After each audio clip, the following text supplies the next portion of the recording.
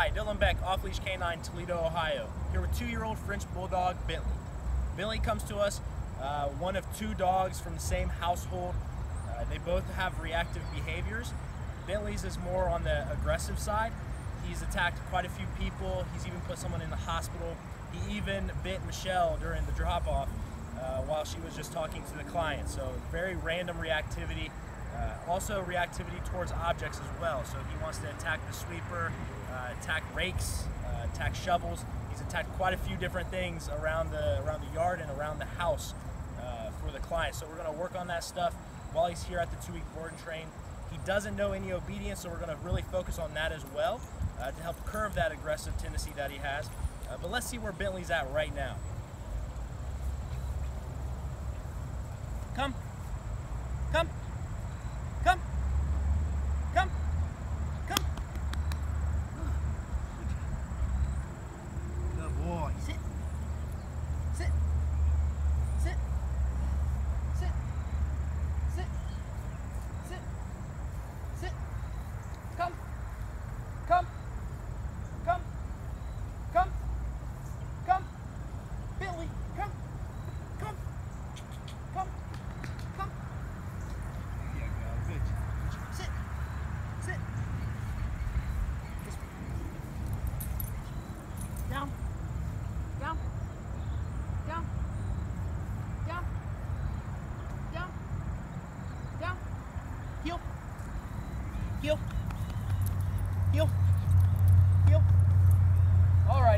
Bentley's at. Look forward to showing you his progress in two weeks.